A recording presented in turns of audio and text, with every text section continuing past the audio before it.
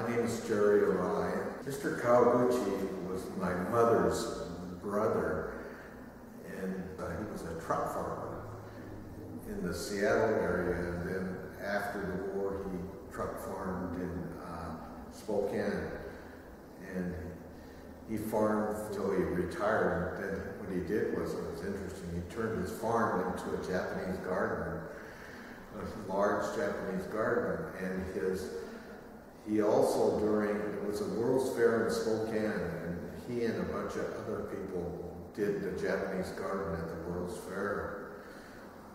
So he uh, came to this country probably between 1905 and 1910, and uh, they were from uh, Shizuoka Prefecture in uh, the town of Numazu. Their family moved up to uh, Bellingham, where my mother was born, she was the oldest sister, oldest of nine children. My uncle was the oldest boy. I think he had a, farm in Bryn Mawr, which is south here. I think it's by Burien. Was there people around here that knew the family? Because he was not in Seattle, he was in South Washington.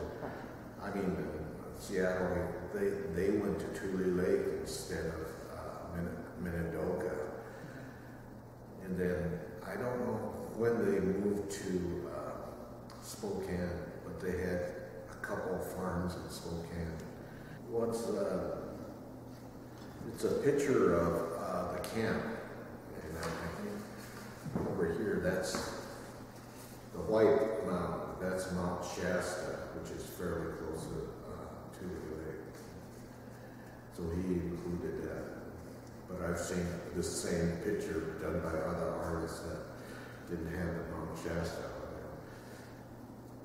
on it. And I'm not sure what this technique is. It's, it might be ink or something. It's hard to tell.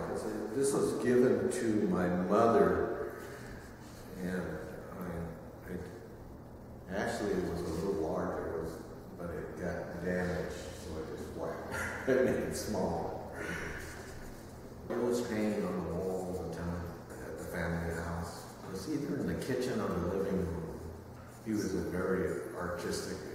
I said he did Latin, uh, Japanese landscaping, but uh, what happened was my uh, after he retired, when he was finished farming, his son lived in uh, Magnolia, and he had a house on an so he had some pine trees, and my uncle, once Matsutaro, would, you know, uh, prune them like a Japanese. And what happened was the other people would see it, so he did a lot of pruning in the area. And he just was, he was an amazing man. I think all his life, he just, he was just naturally talented. He could do anything. It was amazing. He could do. Uh, came to our house once for about a week and did carpentry, made cabinets and things like that. He could just, he was just a multi-talented person.